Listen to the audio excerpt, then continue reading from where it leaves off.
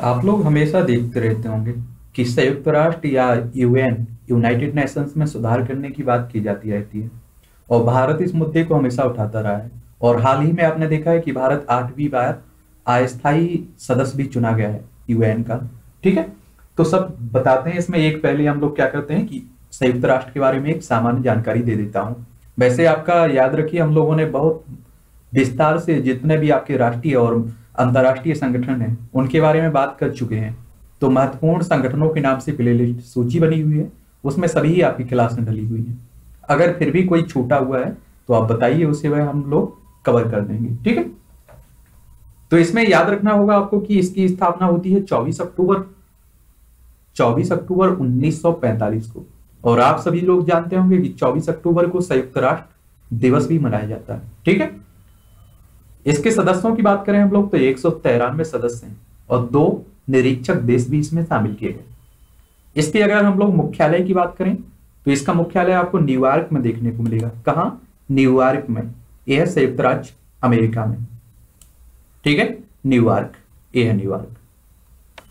और इसके प्रमुख भाग हैं कितने? सिक्स। कौन कौन से हैं? एक देखते हैं आप लोग महासभा, दूसरा सुरक्षा परिषद तीसरा है आर्थिक एवं सामाजिक परिषद।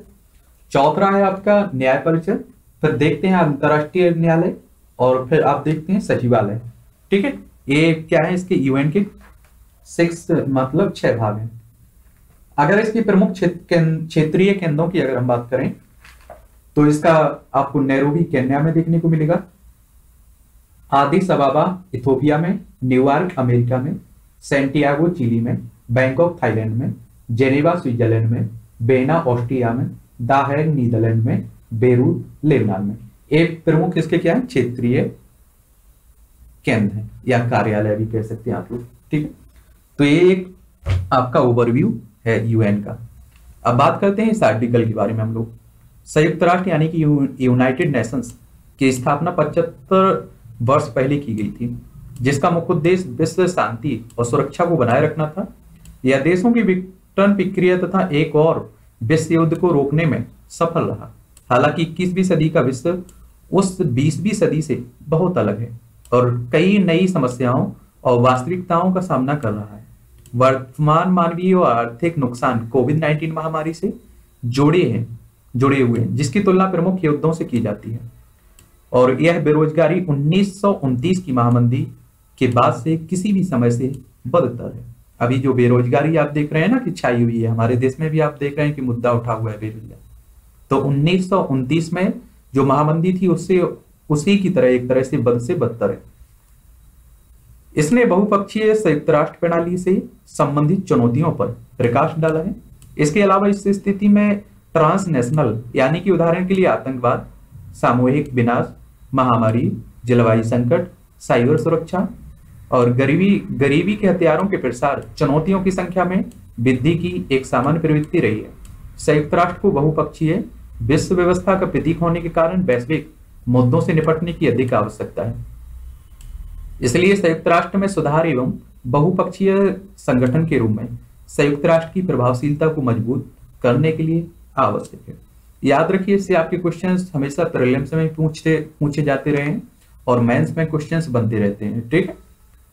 वर्तमान समय में अगर हम लोग बहुपक्षवाद के विरोध चुनौतियों की बात करें तो नए शीत युद्ध का उदय, एक और अमेरिका, दूसरी तो दूसरी ओर देख रहे हैं कि चीन के बीच संघर्ष और दूसरी ओर चीन तथा रूस के बीच पश्चिमी पूर्व संघर्ष एक नई वास्तविकता बन गई है। चीन और जो भारत के बीच व्यापार युद्ध चल रहा है एक तरह से, इसे शीत युद्ध 2.0 यानी कि द्वितीय शीत युद्ध भी कहा जा रहा है। समझ रहे विभाजित पश्चिम। युद्ध के बाद के गठजोड़ों के बावजूद कई वैश्विक मुद्दों पर अमेरिका और उसके यूरोपीय भागीदारों के बीच मतभेद बढ़ रहे हैं। ईरान परमाणु समझौते पर अमेरिका और अन्य शक्तियों के बीच हुए कुछ अंतर बहुत स्पष्ट दिखाई देते हैं। इसके अलावा युद्ध के बाद के बहुपक्षवाद और शीत युद्ध के बाद के विश्ववाद की अस्वीकृति ट्रंप की अमेरिका पष्ट विदेश नीति के केंद्र में है। संयुक्त राष्ट्र की अप्रभाविता की बात करेंगे हम लोग तो संयुक्त राष्ट्र कोरोना वायरस के वैश्विक संकट पर प्रभावी ढंग से प्रतिक्रिया देने में असमर्थ यानी कि फैल रहा, ठीक है? संयुक्त राष्ट्र सुरक्षा परिषद में चीन ने संकट की उत्पन्न, उत्पत्ति और स्रोतों पर भी एक गंभीर चर्चा को अवरुद्ध कर दिया है, जबकि अमेरिका विश्व स्वास्थ्य संगठन द्वारा चीन का समर्थन करने के आरोपों को लगाते हुए इससे बाहर हो गया है। एक बात और आपको बता दूँ, इसमें पाँच स्थायी सदस्य होते हैं। क्या है? कि आप देखेंगे इसमें कि एक आप वो सुनते होंगे। क्या सुनते हैं? सुरक्षा परिषद सुरक्षा परिषद। इसमें आप देखते हैं कि पाँच अस्थायी पाँच स्थायी सदस्य और दस अस्थायी सदस्य। तो कुल मिलाकर कितने? पंद्रह सदस्य होते हैं इसमें। तो स्थायी सदस्यों की बात करें तो चीन, रूस, फ्रांस, यूके और यूएसए। ठीक है? इन्हें बीटो का बीटो का पावर मिला हुआ है। कहने का सीधा सा मतलब है बीटो का कि अगर किस, कोई प्रस्ताव आता है, उसके पक्ष में चार देश हैं। और विपक्ष में एक भी देश होगा तो वो प्रस्ताव पास नहीं होगा। अगर किसी प्रस्ताव को आपको पास करना है तो पाँचों सदस्यों को सहमत होना चाहिए। समझ रहे हैं? और जो दस अस्थायी सदस्य होते हैं तो इनका कार्यकाल दो वर्ष के लिए होता है। कितने? दो वर्ष के लिए। भारत अभी आपने देखा है कि आठवीं बार चुना गया है, इक्कीस बाईस के लिए।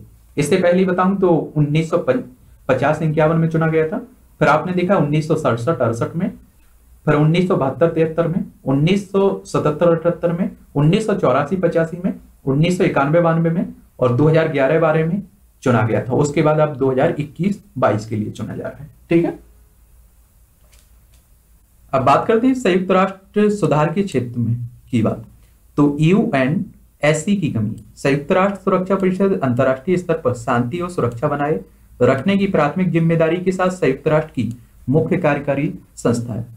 हालाँकि यू एन एस सी के पाँच स्थायी सदस्यों द्वारा वीटो शक्तियों का उपयोग सतत, सशक्त संघर्ष के पीड़ितों के लिए, विनाशकारी परिणामों की परवाह किए बिना, उनके भू राजनीतिक हितों को किनारे करते हुए करने हेतु एक उपकरण के रूप में इसका उपयोग करते हैं, जैसा कि सीरिया, इराक आदि में देखा जा सकता है। इसके वे, आप देख, आपने अभी कुछ समय पहले देखा होगा कि मसूद अजहर आतंकवादी सूची में डालना था।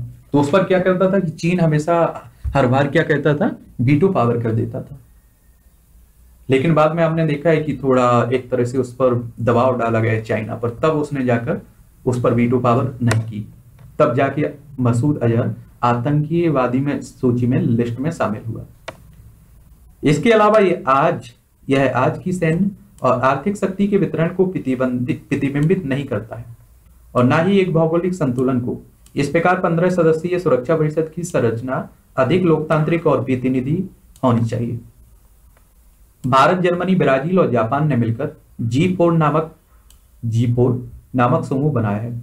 ये देश संयुक्त राष्ट्र सुरक्षा परिषद की स्थायी सदस्यता के लिए एक दूसरे का समर्थन भी करते हैं। महासभा सुधार की बात करें तो संयुक्त राष्ट्र महासभा केवल गैर बाध्यकारी सिफारिशें कर सकती है, जो संयुक्त राष्ट्र के आविर्भाव का एक और कारण तथा संयुक्त राष्ट्र सुधार का एक और महत्वपूर्ण मुद्दा है। संयुक्त राष्ट्र निकायों की आर्थिक और सामाजिक परिषद ने आलोचना की है।